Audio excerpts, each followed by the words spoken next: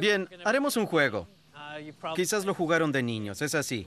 Dirá, fui a la tienda y compré algún artículo como un envase de leche. La siguiente persona dirá, fui a la tienda y compré un envase de leche y algo más. Así y seguimos haciéndolo hasta equivocarnos. Fui a la tienda y compré maíz. Fui a la tienda y compré maíz y compré uvas. Fui a la tienda y compré maíz, uvas y frutillas. Fui a la tienda y compré maíz, uvas, frutillas, remolachas. Fui a la tienda y compré maíz, frutillas, uvas, remolachas y huevos. Fui a la tienda, compré maíz, uvas, frutillas. Olvidé uno.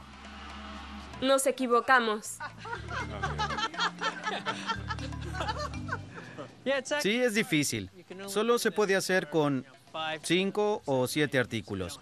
No tenemos la capacidad normal para almacenar más que eso. Y en gran parte confiamos en lo que llamamos memoria a corto plazo.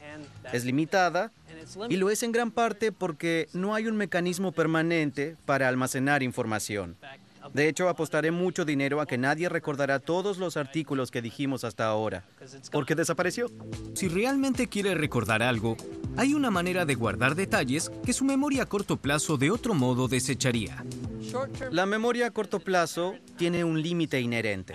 Cuando reconozca los artículos que quiere almacenar, póngalo en el contexto, si quiere, de una narración.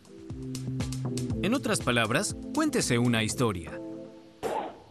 Cada vez que pueda relacionar cosas, se fortalecen las conexiones entre las neuronas y ayudan a mover la información de la memoria a corto plazo a la de largo plazo, donde luego puede recordarse.